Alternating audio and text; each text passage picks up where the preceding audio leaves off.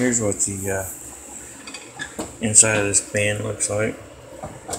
See that light shining off of it.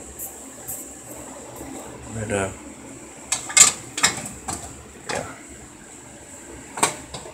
it's it's purple. but uh, yeah, it's on clearance. Um, eleven bucks. Thought you know I couldn't pass it up. I don't really care for this uh, this ridge, but that'd give uh, like steak or something a real good, maybe a real like a sear line or something. I don't know. What do you think?